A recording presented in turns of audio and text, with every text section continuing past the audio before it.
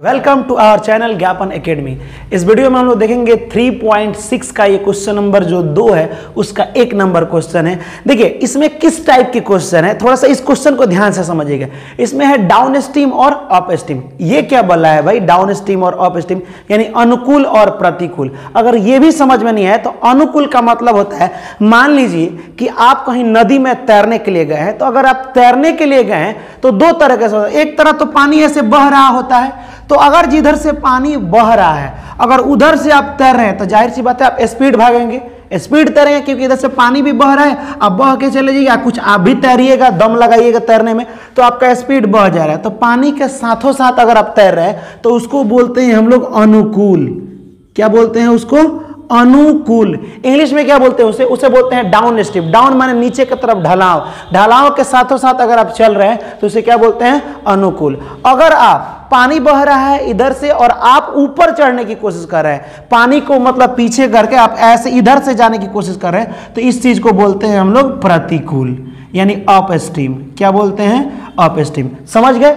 अब आप खुद सोच के बताइए कि आप अनुकूल में फास्ट बहाएँगे कि प्रतिकूल में फास्ट भागेंगे ज़ाहिर सी बात है कि जिधर से पानी बहेगा, उधर से आप फास्ट भागेंगे या फिर मान लीजिए कि कोई छोटा बच्चा दौड़ रहा है, आप उससे फास्ट पकड़ के उसका हाथ पकड़ के लगिए दौड़ाने एकदम दबा के तो क्या होगा? उसके स्पीड बढ़ेगा कि घटेगा? पहले से बेचारा धीरे धीरे दौड़ रहा है, अब आप क्या कीजिएगा, आइएगा, उसको हाथ पकड़ के और दौड़ाना शुरू कर दीजिएगा। इसका मतलब वो अनुकूल जा रहा है, आपके साथ साथ उसका भी स्पीड है। तो इसमें दो आदमी का स्पीड है, एक तो छोटे बच्चे का स्पीड है और एक जो आप दौड़ रहे हैं, उसका स्पीड है। वैसे भी इसमें भी अगर ये नाव यहाँ पे कोई नाव है, ठीक है? अगर यहाँ पे कोई नाव है तो इसका दो गो स्पीड है। एक तो जो नाव चलाएगा तो नाव अपने ताकत से चलाएगा, उसका स्पीड है। ठीक है? और एक क्या होगा कि एक तो धारा यानी पानी जो बहेगा उस पर, उसका स्पीड होगा। तो दो स्पीड होगा। या फिर कभी आप हवा में बाइक चलाए होंगे। हवा में बाइक मतलब ऊपर ऊपर बाइक का बात नहीं कर रहे हैं। जिधर से हवा बहता है, अगर उधर से आप बाइक चलाते हैं तो बाइक आराम से, या फिर साइकिल चलाते हैं तो मेहनत नहीं लगता है। क्योंकि कुछ हवा धक्का मार देता है ठीक है? अब कुछ आप, आपका स्पीड कुछ होता ही है। तो इसमें दो स्पीड होता है। एक आपका मेहनत वाला स्पीड जो साइकिल आप चला रहे हैं और एक हवा जो धक्का मारता है उसका स्पीड मान लीजिए कि आप दो किलोमीटर प्रति घंटा के स्पीड से क्या कर रहे हैं? साइकिल चला रहे हैं। ध्यान से समझिएगा, अनुकूल। और हवा भी आपको ठेल रहा है दो किलोमीटर प्रति घंटा।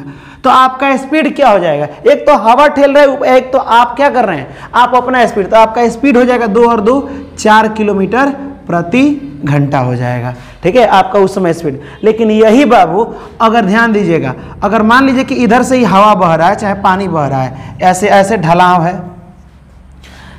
पाँच किलोमीटर प्रति घंटा के हिसाब से एक नाव यहाँ चल रही है। नाव को थोड़ा सा ऊपर बनाते हैं। ये मान लीजिए कि नाव हो गई।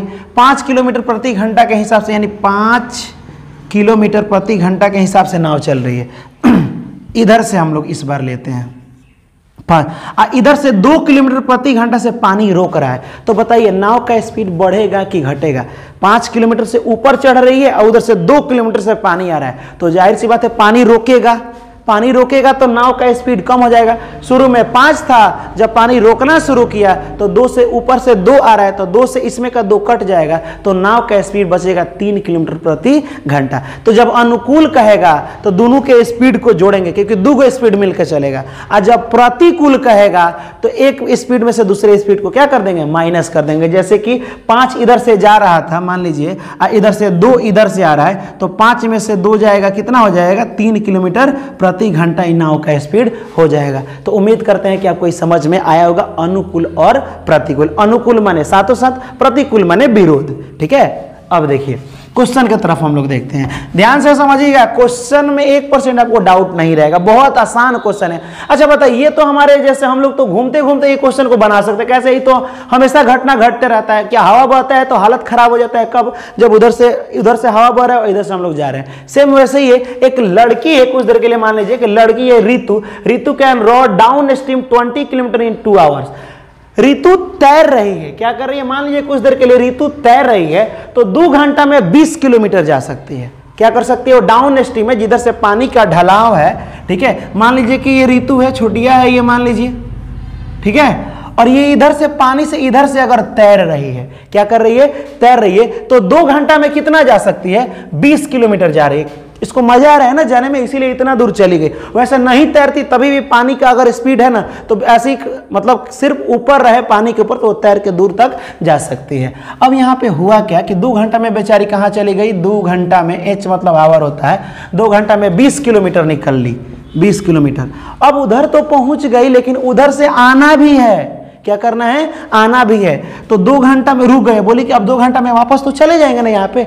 लेकिन दो घंटा में जब इधर से चली तो मात्र चार किलोमीटर चली। हालत खराब हो गया इसका इतना ही में।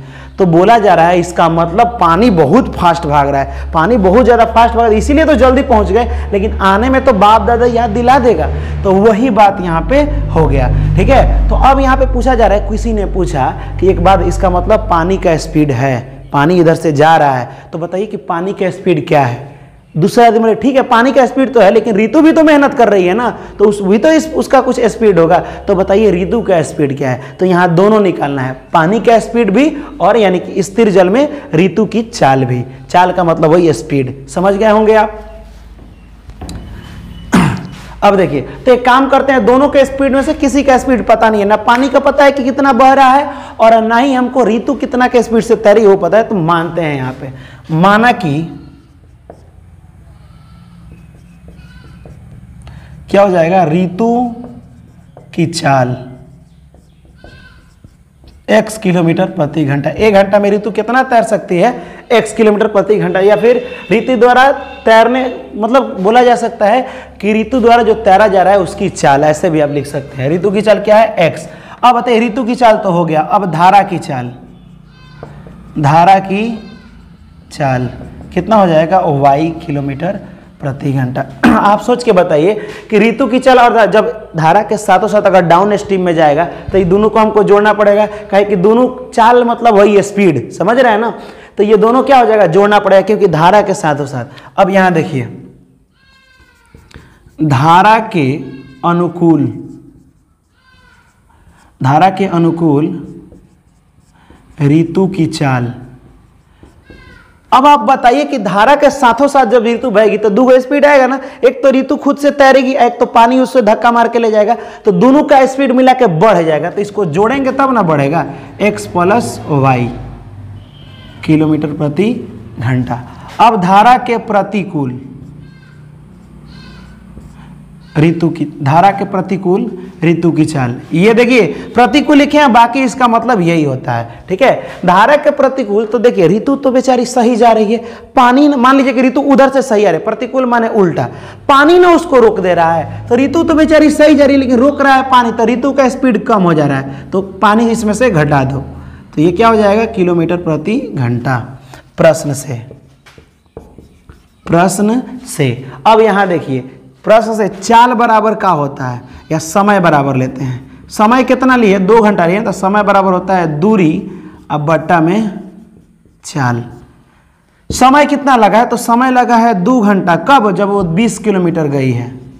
20 किलोमीटर कैसे गई है? तो धारा के साथों साथ डाउन स्ट्रीम में गई है। तो चाल कितना दिया है? धारा के अनुकूल वाला चाल एक्स प्लस वाई ये देखिए, आप एक काम का बीच में तिरछा तिरछी गुणा भी कर सकते हैं, या फिर ऐसे काट भी सकते हैं, दो दहिया, बीस। जब तिरछा तिरछी गुणा कीजिए तो इधर तो कुछ है नहीं तो हो जाएगा एक्स प्लस वाई इधर अकेले क्या बच गया? दस, समीकरण एक। समीकरण एक बन गया। वैसे ही स्थिति दो में, एक बार बेचारी सीधा गई है, और दूसरी कंडीशन में, दूसरा कंडीशन में क्या हुआ है कि पानी इधर से आ रहा है, इधर से चढ़ने की कोशिश कर रही है, लेकिन प्रयास की है, लेकिन दो घंटा में चार किलोमीटर ही गई है। तो यहाँ घंट, किलोमीटर दूरी है। कितना दूर गई है? चार किलोमीटर। कितना घंटा में? दो घंटा में। समय दो घंटा और आपका दूरी चार किलोमीटर।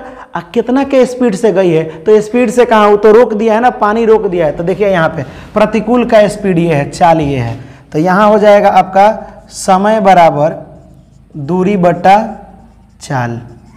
ये भी दो घंटा ली है, लेकिन दूरी चार किलोमीटर और एक्स माइनस वाई। चाले कम हो गया है तो ज़ाहिर सी बात है कि कम दूर जाएगी दो ही घंटा में। जब तिरछा तिरछी ये घटा दीजिए दो दूना चार तिरछा तिरछी गुणा कीजिएगा तो आपका आ जाएगा ये एक्स माइनस वाई बराबर कितना? दो हो जाएगा समीकरण दो। अब समीकरण एक और दो को जोड़ने पर लिख दीजिए। समीकरण एक और दो को जोड़ने पर। समीकरण एक क्या है? X plus y is equal to ten x minus y is equal to दो। देखिए, जोड़ने पर इसलिए किए क्योंकि सिंबल हमको बदलना थोड़े ना, ऐसे ये कट जाएगा। ठीक है प्लस में एक एक्स एक एक्स कितना एक्स दो एक्स दस और दो, बारह। जब कटाइएगा तो दो छः बारह। एक्स बराबर छः एक्स बराबर छः या एक्स का मान कहीं ले जाके भर दिए, समीकरण एक या दो में। एक्स का मान समीकरण एक में रखने पर। समीकरण एक है एक्स प्लस वाई बराबर दस। एक एक्स का मान कितना आया? है एक्स का मान छ आया है। प्लस में y is equal to ten ठीक है? छ ये प्लस में है। देखिए, बराबर को उधर जाता है तो सिंबल बदलता है प्लस में उधर जाएगा तो माइनस में वाई बराबर दस माइनस छ वाई बराबर हो जाएगा चार। अब बताइए कि एक्स आप क्या माने हैं? तो एक्स माने है ऋतु की चाल। ऋतु कितना तैर सकती है? तो एक छ मतलब छ किलोमीटर है आपका। कितना है? छ किलोमीटर, आप इसकी चाल माने किलोमीटर प्रति घंटा यहाँ लिख दीजिए। यानी एक घंटा में ऋतु छः किलोमीटर तैर सकती है। और अब पानी कितना, पानी को माने है भाई तो पानी एक घंटा में चार किलोमीटर प्रति घंटा जा सकता है। तो देख लीजिएगा, इधर से ऋतु अगर छः के हिसाब से जा रही है, अब पानी भी चार के हिसाब से जा रहा है तो उसका स्पीड दोनों मिल जाएगा तो दस हो जाएगा। लेकिन बेचारी ऋतु तो छः का दम लगाई है, लेकिन इधर से पानी चार का चार का दम लगा के, यानी ताकत लगा के रोक दे रहा है तो बताइए छः इधर से आदमी आ रहा है, चार इधर से तो चार से चार टकरा के चार खत्म हो जाएँगे। बचा सिर्फ़ इधर से दो ताकत ना तो दो किलोमीटर प्रति घंटा प्रतिकूल के हिसाब से हुआ, ठीक है? लेकिन यहाँ पे आपसे जो पूछा जा रहा था वही हो गया, आप लिख सकते हैं अगर लिखना हो तो। ऋतु की चाल क्या हो जाएगा? सिक्स किलोमीटर प्रति घंटा और यहाँ पे धारा की चाल वाई किलोमीटर प्रति घंटा। तो लीजिए इसका स्क्रीनशॉट और उम्मीद करते हैं कि आपको तो बहुत ही बेहतरीन तरीका से समझ में आया होगा। और फिर हम लोग बिना देर किए देखते हैं next question second number question देखते हैं, बहुत ही मज़ेदार तरीका से और इस सब क्वेश्चन जो भी इस टाइप का आएगा, देखिए हम लोग दो तरीके से, इसको हम लोग ट्रिक द्वारा भी आपको हम समझा देंगे, ठीक है? लेकिन यहाँ समझिएगा, एक हम आपको काम दे रहे हैं, वो काम है क्या? ध्यान से समझिए। मान लीजिए आपको एक बहुत बड़ा रोटी दे रहे हैं खाने के लिए।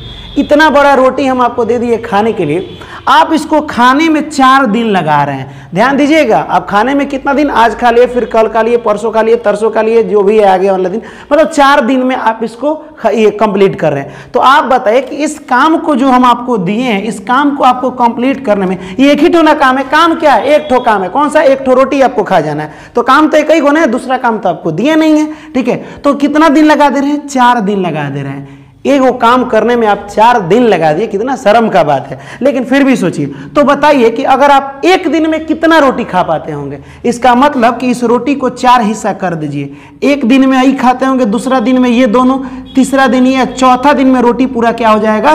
कंप्लीट हो जाएगा। यही ना चार दिन में आपका रोटी कंप्लीट। इसका मतलब एक दिन में आप कितना खाते हैं? तो ये चार गो हिस्सा का एक हिस्सा खाते हैं। यानी एक दिन में आप एक बट्टा चार हिस्सा खा रहे हैं। एक बट्टा चार का मतलब एक सामान को चार जगह बांट दीजिए, उसका एक हिस्सा आप एक दिन में खा रहे हैं। तो एक दिन का कभी भी पूछे तो ऐसे ही आप निकालेंगे। समझ में अब कुछ देर के लिए देखिए, ये क्वेश्चन जो है, एकदम से वैसे ही है। अब मान लीजिए कि आप अकेले आदमी थे तो एक दिन में एक बट्टा चार खा पा रहे हैं। ठीक है? दो दिन में आप दो बट्टा चार खाएँगे। ठीक है, तीन दिन में तीन बट्टा चार यानी तीन बट्टा चार का मतलब क्या है? चार गो हिस्सा है, जिसमें से तीन दिन में आप तीन गो हिस्सा खा रहे हैं, एक गो हिस्सा आप छोड़ दे रहे हैं। और चार दिन में तो चार बट्टा चार चार एकम चार यानी एगो काम आपका पूरा एगो रोटी कंप्लीट हो जा रहा है। समझ में तो यहाँ वही क्वेश्चन बोला जा रहा है। एक एक चीज़ याद होगा कि एक दिन में एक बट्टा चार आप काम कर रहे हैं, यानी एक बट्टा चार हिस्सा खा रहे हैं। यहाँ देखिए, कह रहा है कि दो women and five man can together finish a embroidery work in four days कह रहा है कि दो औरत और पाँच, यानी कि दो महिलाएँ और पाँच पुरुष किसी काम को खत्म करते हैं, ठीक है? चार दिन में खत्म कर देते हैं। अब बताइए कि दो औरत मिले, यानी महिला दो ठो और पाँच ठो आदमी। दो महिला और पाँच आदमी। दो आदमी मतलब ये दो जन मिल करके, यानी टोटल मिला के को आदमी हो गए? सात आदमी मिल करके एगो काम को चार दिन में कंप्लीट करे थोड़ा सा सोचिएगा कि मात्र एगो कोई काम है आई सात आदमी मिले हैं तो उसको कंप्लीट कितना दिन में किए हैं? चार दिन में कंप्लीट किए हैं। तो अकेले किसी को करना पड़ेगा तो बहुत मेहनत लगेगा ना। कहाँ सात आदमी मिलकर किए हैं, तब वो करने में चार दिन लग गया और छह आदमी भाग गए, बोले कि अकेले काम को खत्म करो। तो बहुत ज़्यादा समय लग सकता है, ठीक है? तो पहले एक काम करते हैं, पहले क्वेश्चन समझ लेते हैं। जबकि दो औरत या दो महिला और पाँच पुरुष मिल करके चार दिन में करते हैं, तीन महिला और छह पुरुष मिल करके तीन दिन में करते हैं तो पूछा जा रहा है कि अगर वो काम अकेले एगो औरत को दे दिया जाए, जो चार दिन का काम है ना, अकेले एगो औरत करेगी तो कितना दिन में कंप्लीट करेगी? या फिर अकेले एक क्या करेगी? पुरुष, यानी मैन करेगा तो कितना दिन में कंप्लीट होगा? तो सबसे पहले काम कितना है ये पता करें। आपको काम नहीं पता है कि कितना है तो मान लीजिए कि एक ठो काम है एक्स तो एक महिला का काम पहले लिख लो। यहाँ देखो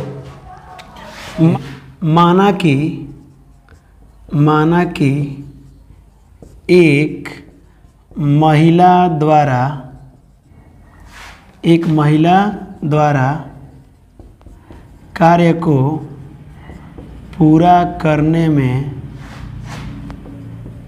लगा समय।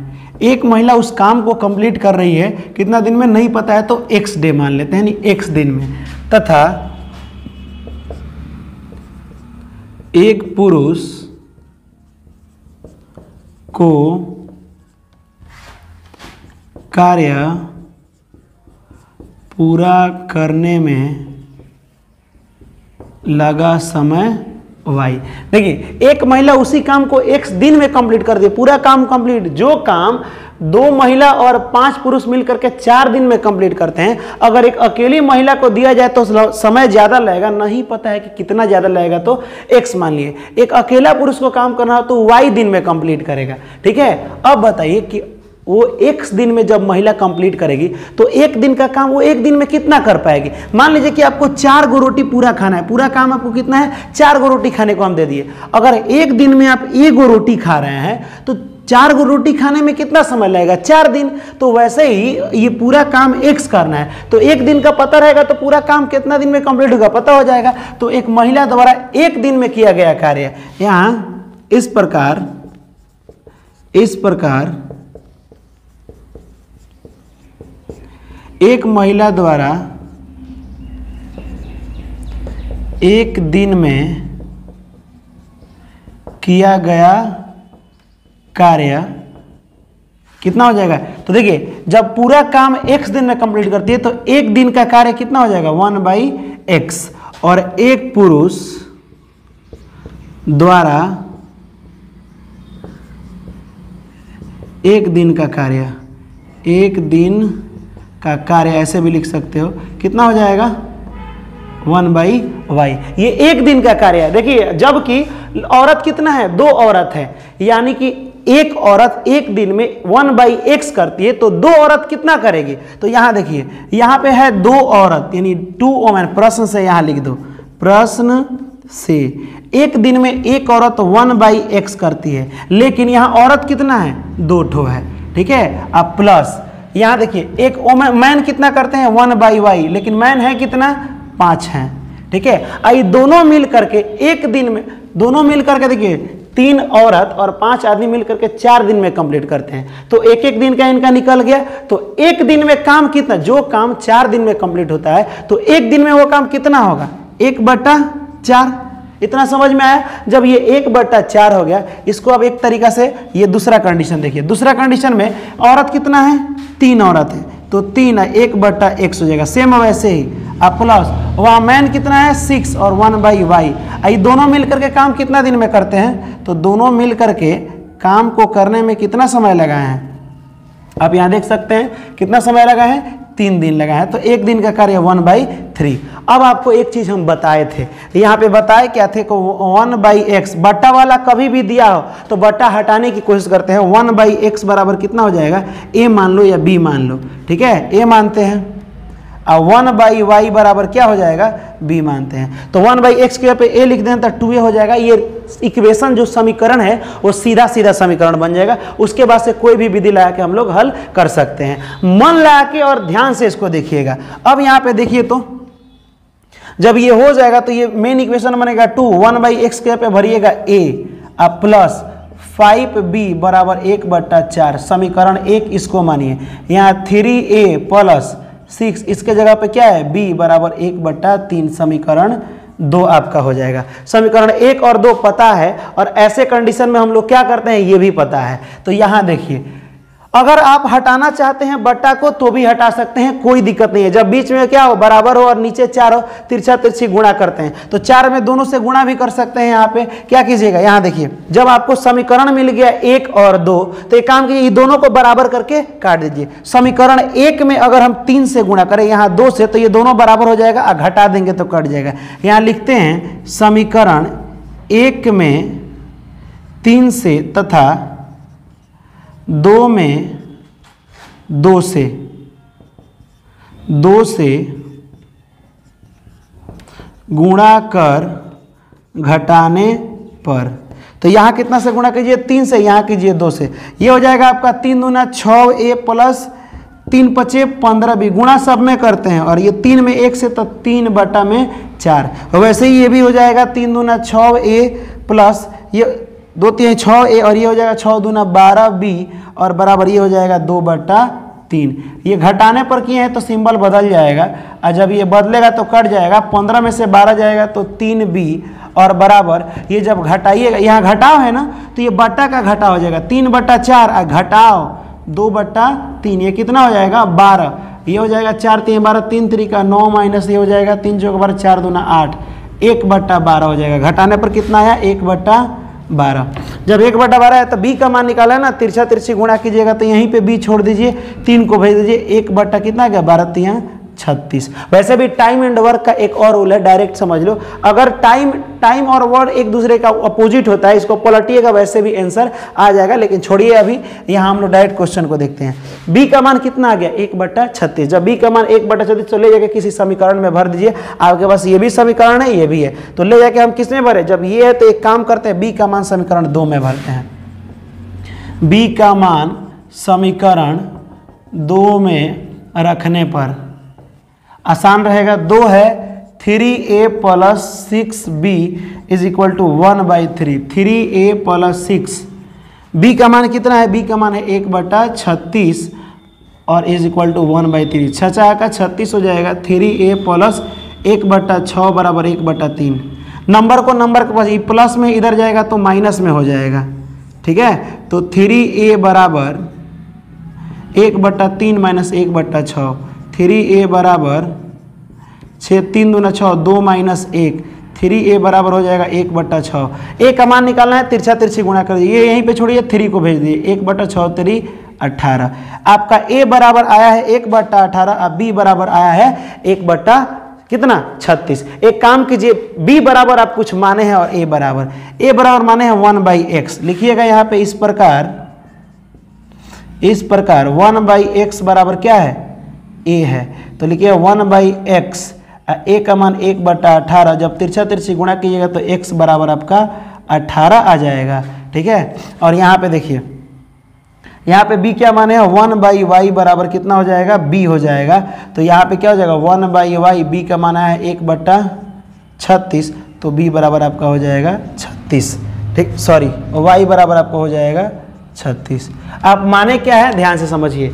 एक महिला द्वारा किया गया कार्य को एक्स माने हैं, ठीक है? तो महिला कितना दिन में काम को कंप्लीट करेगी? यहाँ पे ए माने है ना महिला वाला, दो महिला है यहाँ पे, और ये कितना हो जाएगा? पाँच मैन है, ठीक है? तो इस हिसाब से आपका x बराबर आपका आंसर कितना आया? महिला, एक महिला, यानी कि 18 दिन में काम को पूरा किया जाएगा, और ये पुरुष कितना करेगी?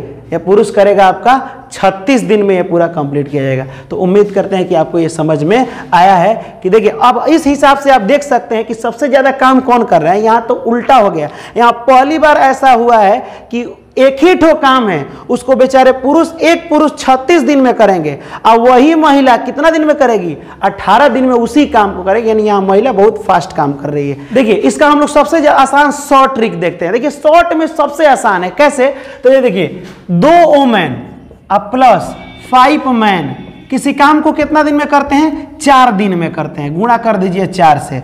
बराबर। वो काम वही है। काम एगो एक ही को काम करना है। सेम काम को चार दिन में कंप्लीट करती है। जबकि अगर तीन ओमेन मिल जाए और प्लस में छ मैन मिल जाए, उसी काम को कितना दिन में लोग करता है? तीन दिन में करता है। ध्यान से इस क्वेश्चन को समझिएगा। काम वही है, दोनों काम बराबर है। अब इसीलिए दोनों के बीच में हम बराबर डाल दिए ये इतना दिन में कंप्लीट हुआ है, ये चार दिन में कंप्लीट हुआ है। गुणा कीजिए। चार दूना आठ ओमेन प्लस पाँच चौका बीस मैन बराबर ये हो जाएगा तीन तरीका नौ ओमैन छः तरी अठारह मैन एक जात को एक जगह कीजिए। इसको एक जगह कीजिए तो हो जाएगा बीस मैन अब मैन को इधर लगेगा तो कितना हो जाएगा? अठारह मैन ये नौ ओमैन ये प्लस में इधर जाएगा तो आठ ओमैन हो जाएगा।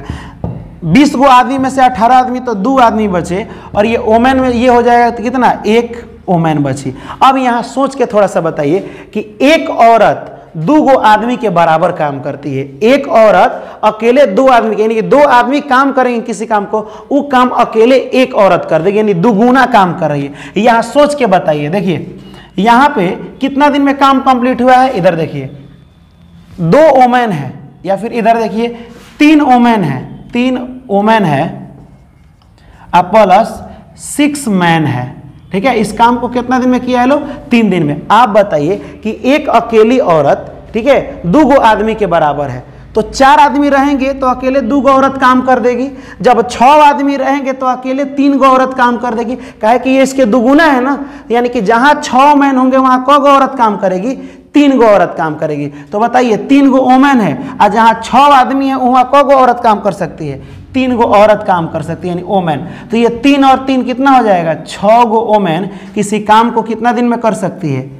तीन दिन में कर सकती है। अभी वहाँ हो गया काम खत्म। जब छः आदमी छः औरत किसी काम को तीन दिन में करेगी, कितना डे?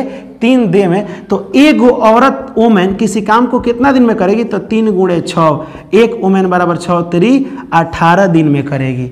ठीक है? एक ओमेन किसी काम को पूरा करने में कितना दिन कंप्लीट होता है? अठारह। आपका वैसे आंसर भी आया है कि एक औरत किसी काम को कितना दिन में करेगी? अठारह दिन में। आ मैन उससे दुगुना समय ले रहे हैं। तो मैन एगो कितना करेगा? एगो मैन करेगा, इससे डबल है ना, जहाँ एक औरत है, वहाँ दो आदमी है। तो जहाँ एक औरत 18 दिन में कंप्लीट करेगी, वहाँ एक मैन कितना दिन में? 36 दिन में दुगुना काम कंप्लीट करेगा। दुगुना समय ले रहा है। तो ये शॉर्ट ट्रिक आपका आराम से समझ में आया होगा। अब हम लोग देखते हैं नेक्स्ट क्वेश्चन देखिए, इसके बाद ये थर्ड नंबर क्वेश्चन है, बहुत ही आसान है। देखिए, पहले क्वेश्चन हम लोग समझते हैं। कह रहा है कि जो रोही है, वो क्या करती है कि उसका घर 300 किलोमीटर दूर है। जब 300 किलोमीटर दूर है तो कुछ दूर हो जाती है ट्रेन से, और उसके बाद से जाती है वो बस से। तो कितना दूर ट्रेन से जाती है और कितना दूर 300 किलोमीटर जाना है तो फ़र्स्ट बारे में वो 60 किलोमीटर जाती है ट्रेन से।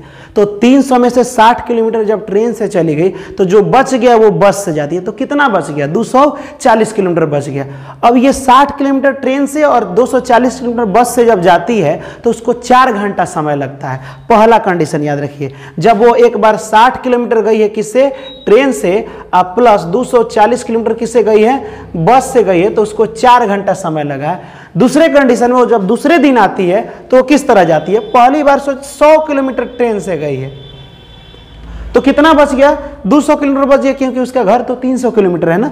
तब उसको लगता है चार घंटा दस मिनट। चार घंटा, एच मतलब आवर यानी घंटा होता है दस मिनट। दस मिनट इसको ज़्यादा समय लगा है। तो बताइए कि ट्रेन का स्पीड क्या है और बस का स्पीड क्या है? दोनों का स्पीड निकलना है कि भाई, आखिरकार क्या बात है कि ट्रेन से जाने पर जल्दी पहुँच जाना चाहिए, लेकिन ये लग रहा है काफ़ी स्लो चल रही है, ठीक है? तो दोनों का स्पीड निकालना है, क्या होगा? तो सबसे पहले दोनों के स्पीड को हम लोग मानते हैं। देखिए, जैसे मानेंगे तो दो ठो, देखिए, दो टाइप का क्वेश्चन है, था ना इसमें? तो दो ठो समीकरण तैयार होगा। मेन हम लोग का पर्पस क्या है कि समीकरण को तैयार करना? लिखते हैं यहाँ पे। माना कि ट्रेन की चाल बराबर क्या हो जाएगा? X तथा बस की बस की चाल बराबर क्या हो जाएगा? भाई किलोमीटर लिख लो। किलोमीटर प्रति घंटा किलोमीटर प्रति घंटा। जिसमें किलोमीटर प्रति घंटा दोनों हो, वो क्या होता है? चाल होता है। ठीक है? और ये बता चुके हैं ट्रिक भी कि कैसे होता है। यहाँ समझिएगा बाबू, जब ये चाल हो गया ट्रेन का एक्स किलोमीटर के हिसाब से भाग रही है, पता नहीं है तो एक से ना मानेंगे, और बस जा रही है वाई किलोमीटर के हिसाब से। तो समय इसमें लगा है कितना?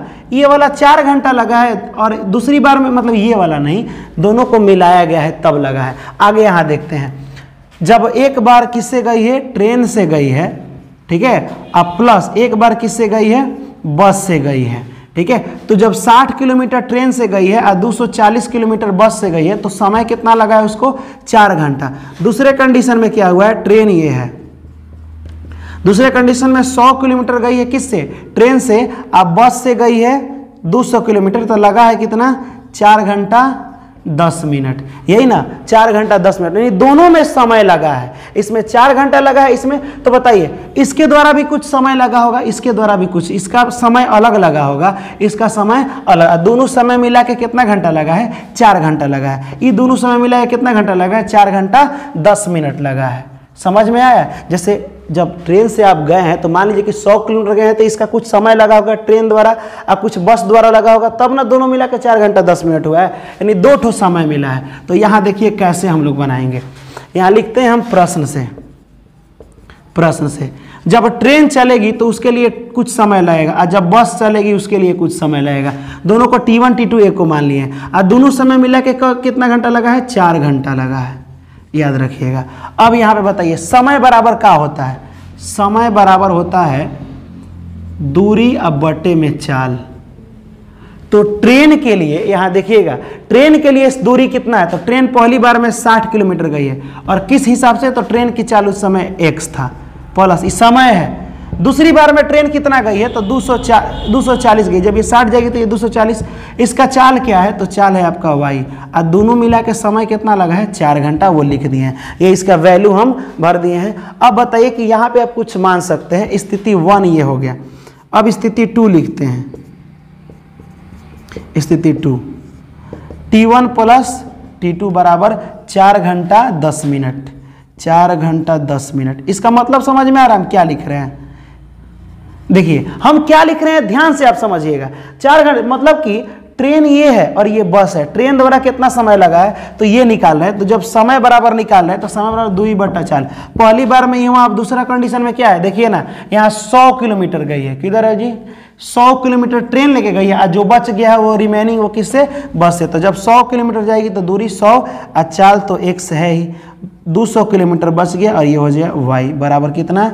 चार घंटा दस मिनट। चार घंटा दस मिनट को घंटा में बदल लो। तो चार घंटा तो ठीक है, दस मिनट को जब घंटा में बदलिएगा तो साठ से दे दीजिए आप भाग। कितना हो जाएगा? एक बटा चार पूर्णांक एक बट्टा छः हो जाएगा। छः चौका चौबीस, एक पच्चीस बट्टा छः घंटा हो जाएगा। कितना हो जाएगा ये? पच्चीस बट्टा में छः। ठीक है? तो ये आपका हो गया। देखिए, समीकरण एक ये हो गया, समीकरण दो आपका ये हो गया। अब बताइए, इस टाइप का क्वेश्चन आप पढ़े हैं कि नहीं? बट्टा वाला क्वेश्चन हम पढ़ा चुके हैं, इसके ऊपर एक नंबर जो क्वेश्चन था, वही। एक्स वाले को क्या मानेंगे? ए या बी मान लेंगे साइड करके और उसके बाद सॉल्व करेंगे। तो यहाँ देखिए। वन बट्टा एक्स बराबर हम मानते हैं पी और वन बट्टा वाई बराबर हम मानते हैं क्यू ठीक है? ये याद रखिए। तो जब 60 को हम लोग यहाँ पे साइड करेंगे 60 को हम लोग साइड करें तो one by x one by x के जब पे क्या है? पी है। तो हो जाएगा 60 पी प्लस दो सौ चालीस क्यू अब बराबर में हो जाएगा चार घंटा। आई हो जाएगा 100 पी प्लस कितना हो जाएगा? 200 क्यू बराबर में हो जाएगा ये 25 बट्टा छ हो जाएगा। ठीक है? तो ये समझ में आ रहा होगा ये कैसे बना है? एक काम कीजिए, जब बीच में बराबर होता है तो तिरछा तिरछी का हो जाता है, गुणा हो जाता है। तो गुणा कीजिएगा, यहाँ पे हम थोड़ा सा लिखते हैं फिर से वही साठ पी प्लस दो सौ चालीस क्यू बराबर फोर छः से गुणा कीजिए तो कितना हो जाएगा? छः सौ हो जाएगा P, और ये छः दूना कितना हो जाएगा? बारह सौ क्यू बराबर में है ना बचेगा किधर? पच्चीस बचेगा। अब बताइए कि ये समीकरण क्या है? एक, दो तो इसको मान लीजिए। चलिए ऐसे ही हम लिखते हैं। एक, दो तो इसको मान सकते हैं हम तीन और चार। अब दो को बराबर कीजिए कोई तो ये दोनों में से कोई एक बराबर कीजिए तो ये बराबर हो सकता है। यहाँ क्या है अब छः सौ है, यहाँ है आपका साठ। आराम से बराबर हो सकता है, खाली इसमें कितना से गुणा? दस से गुणा कर दीजिए समीकरण तीन में दस से गुणा करके घटा दीजिए। समीकरण तीन में दस से गुणा कर, क्या करने पर? घटाने पर। तो तीन से गुणा जब कीजिएगा तो ये समीकरण तीन में दस से गुणा कीजिएगा। तो ये कितना हो जाएगा? छः सौ पी प्लस ये हो जाएगा आपका चौबीस, दो सौ चालीस है ना तो चौबीस सौ हो जाएगा क्यू और बराबर में हो जाएगा चार दहिया चालीस। सब में गुणा होता है। ये हो जाएगा छः सौ पी प्लस ये हो जाएगा बारह सौ क्यू बराबर में पच्चीस। घटाने पर ना तो सिंबल बदलिए। ये खत्म हो जाएगा। चौबीस में से बारह सौ जाएगा तो यहाँ पे हो गया आपका बारह सौ क्यू और चालीस में से पच्चीस जाएगा तो आपका हो जाएगा पंद्रह। यहाँ देखिए क्यू बराबर हो जाएगा पंद्रह बट्टा बारह अब ये कैसे कटाइएगा? तो पहले देखिए, बारह कटाइए। तीन चौका बारह दो गो ज़ीरो नहीं कटा तो उतार दीजिए। तीन पचे पंद्रह, फिर पाँच से पचे अट्ठे चालीस अस्सी। कितना हो गया? यहाँ पे हो गया क्यू बराबर एक बट्टा अस्सी। जब q बराबर एक बट्टा अस्सी हो गया तो q का मान ले जाके समीकरण किसी, ये दोनों में से किसी में रख दीजिए। Q का मान हम एक काम करते हैं, समीकरण ले जाके हम रख देते हैं किसमें? एक में। यानी कि यही ना माने हम, एक नहीं, इसको माने हम लोग तीन, और ये चार तो तीन में ले जाके रखते हैं। तो q का मान जब हम, इसको एक बार स्क्रीन शॉट आप ले लीजिए, ठीक है? ताकि बनाने में आपको भी समझ आएगा, एक बार स्क्रीन शॉट लीजिए, हम इधर बनाते हैं। यहाँ पे q का मान क्या कीजिएगा आप, समीकरण तीन में रख दीजिए। Q का मान समीकरण तीन में रखने पर, समीकरण तीन है साठ पी प्लस दो सौ चालीस क्यू बराबर चार। साठ पी प्लस दो सौ चालीस क्यू का मान कितना है? तो एक बट्टा अस्सी है बराबर में चार। एक ज़ीरो से एक ज़ीरो खत्म, आठ तरीका चौबीस। साठ पी प्लस तीन बराबर में चार। ये प्लस में इधर आएगा तो माइनस में तो ये हो जाएगा चार माइनस तीन।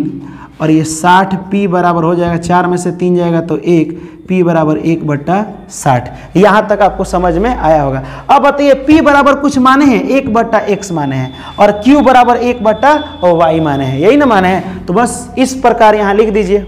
इस प्रकार इस प्रकार यहाँ पे p बराबर क्या है? One by x. पी का मान भर दीजिए, एक बट्टा साठ बराबर वन बाई एक्स। तो x बराबर हो जाएगा आपका साठ। उसके बाद से q बराबर है वन बट्टा वाई क्यू का मान कितना आया? है एक बट्टा अस्सी बराबर एक बट्टा वाई वाई बराबर आपका कितना आ गया? 80 आ गया। तो आप एक्स और वाई क्या माने? एक्स माने थे ट्रेन वाला तो ये 60 किलोमीटर प्रति घंटा ट्रेन का हो गया।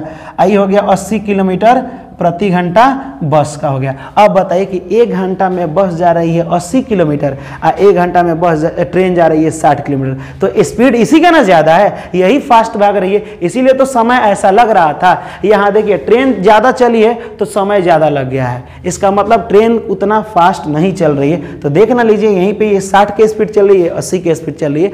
तो इसका स्क्रीन ले लीजिए, ये थर्ड पार्ट था, ये सेकेंड वाला, ये थर्ड हो गया। उम्मीद करते हैं कि आपको समझ में आया होगा। और इस वीडियो में आपका पूर्ण रूप से ये 3.6 यानी थ्री लेसन कंप्लीट हुआ। अगर वीडियो बहुत ही ज़बरदस्त लगे तो इस चैनल को आप सब्सक्राइब कीजिए और ज़्यादा से ज़्यादा अपने दोस्तों में शेयर कीजिए ताकि आपके सब फ्रेंड जो दोस्त हैं वो भी, जो दुश्मन है वो भी, उसको भी बेनिफिट वो भी, उन लोगों को भी इस वीडियो का बेनिफिट उठा सके।